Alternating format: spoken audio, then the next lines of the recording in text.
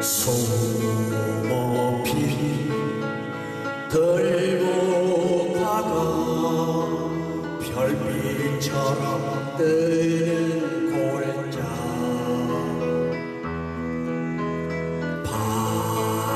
반야산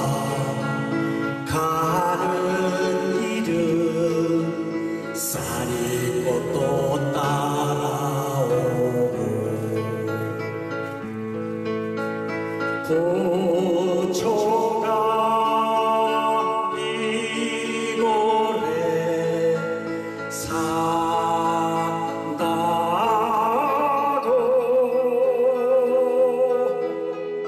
물소리가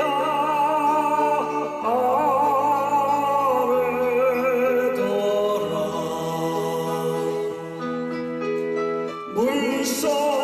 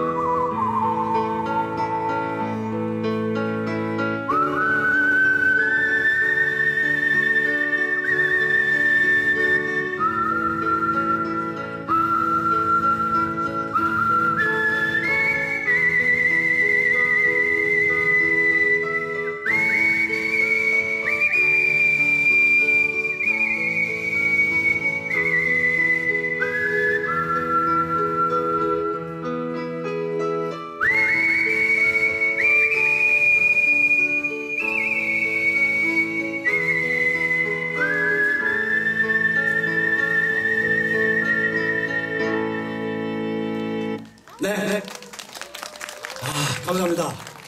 네, 아티스트는 박수를 먹고 사는 거예요. 근데 아까 보니까 박수 별로 많지 않아요. 오늘 이렇게 많이 오셨는데. 그죠? 아까 아티스트 나왔을 때. 박수 한번 다시 한번 쳐보세요. 네, 제가, 제가 꽁찌거든. 이 정도면요, 진짜 지쳐요. 저 올 때 또 연습하고 왔